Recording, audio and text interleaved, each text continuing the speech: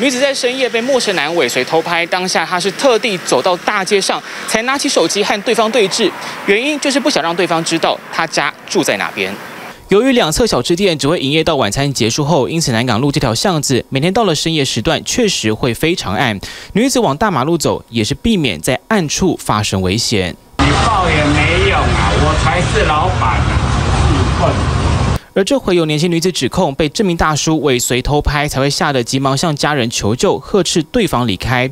当时男子从巷口开始尾随他，路程至少六分钟，约三百公尺，几乎已经跟到了对方家门口。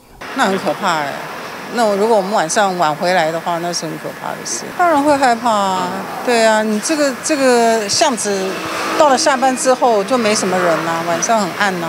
幸好女子的姐姐收到妹妹求救，短短一分钟内就从家里冲出来救援，但男子已经被妹妹录影呵斥，准备逃走。虽然勇气可嘉，但要小心，若因此激怒对方，可能会有攻击性。要是真的像这样发现自己被陌生人尾随，其实也有四招自保方式。除了冷静应对，向路人求助，也别忘拿手机录影搜证自保。可以的话，往大路走，更换路线。但最重要的是，不要和对方有正面冲突。